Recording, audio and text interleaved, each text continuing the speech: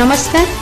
କୁସୁମ ଟିଭିର ଖବର ଆଜିର କାର୍ଯ୍ୟକ୍ରମକୁ ଆପଣମାନଙ୍କୁ ସ୍ୱାଗତ। ପ୍ରଥମେ ଯିବା ମୁଖ୍ୟ ଖବର। ରାଜ୍ୟ ଯୋଜନା ବୋର୍ଡ ଉପାଧ୍ୟକ୍ଷ ସଞ୍ଜୟ କୁମାର ଦାସ ବର୍ମାଙ୍କ ପୁରୀ ବନ୍ୟା କ୍ଷୟକ୍ଷତିର ଆକଳନ।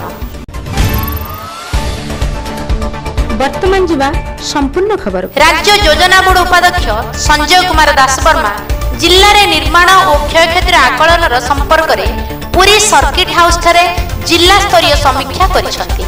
ଏହି ବୈଠକରେ ବିଭିନ୍ନ ବିଭାଗର ବନ୍ୟା ସମୟରେ କରାଯାଇଥିବା କ୍ଷୟକ୍ଷତିର ଆକଳନ ସମ୍ପର୍କରେ ପୁରୀ ଜିଲ୍ଲାପାଳ ବଳବନ୍ତ ସିଂ ସବିଶେଷ ବିବରଣୀ ଉପସ୍ଥାପନ କରିଥିଲେ।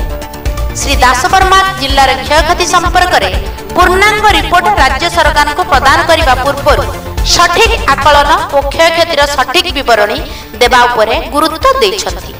ଏହି ଉଚ୍ଚସ୍ତରୀୟ ବୈଠକରେ ଜିଲ୍ଲାର ସମସ୍ତ ପ୍ରଶାସନିକ ରାଜସ୍ୱ କୃଷି ଉଦ୍ୟାନ ଓ ପଶୁ ସମ୍ପଦ ବିଭାଗ ଅଧିକାରୀ ଅତିରିକ୍ତ ଜିଲ୍ଲାପାଳ ପ୍ରଦୀପ କୁମାର ସାହୁ ଉପଜିଲ୍ଲାପାଳ ଭବତାରଣ ସାହୁ ଡିଆରଡିଏ ପ୍ରକଳ୍ପ ନିର୍ଦ୍ଦେଶକ ନୀତିରଞ୍ଜନ ସେନ ଜରୁରୀକାଳୀନ ଅଧିକାରୀ ଇତିଶ୍ରୀ ନାୟକ ପ୍ରମୁଖ ବୈଠକରେ ଉପସ୍ଥିତ ଥିଲେ।